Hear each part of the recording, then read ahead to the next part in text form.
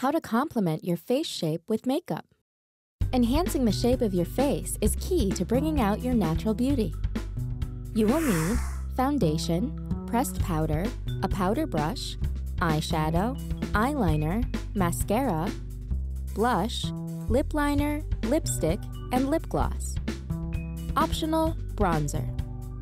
Step 1. Apply foundation and create highlights with pressed powder in a shade lighter than the foundation. Highlight a square-shaped face above the cheekbones, in the center of the forehead, and the tip of the chin. Place highlights on a round-shaped face on the forehead, underneath the eyes, the center of your chin, and just above the cheeks. Use bronzer or powder that is a shade darker than the foundation to contour the face and make it appear more oval. Step 2. Apply dark eyeshadow on the outside corners and highlight the top lid and inner corners of a square face. For a round face, use dark colored eyeshadows. For an oblong face, use dark shadows and apply eyeliner beyond the width of the eye. Finish with black mascara.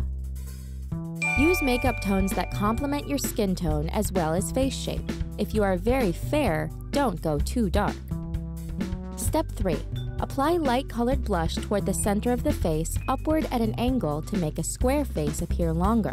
For a round face, use a dark blush along the apples of the cheeks. Neutral colored blush in a more horizontal line widens an oblong face.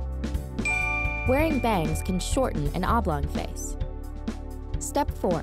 Draw attention to the center of the mouth if you have a square face. Outline the lips with a lip liner and fill the center of the top lip. Finish with a lipstick one shade lighter. Make lips stand out on a round face by lining and using a darker lipstick.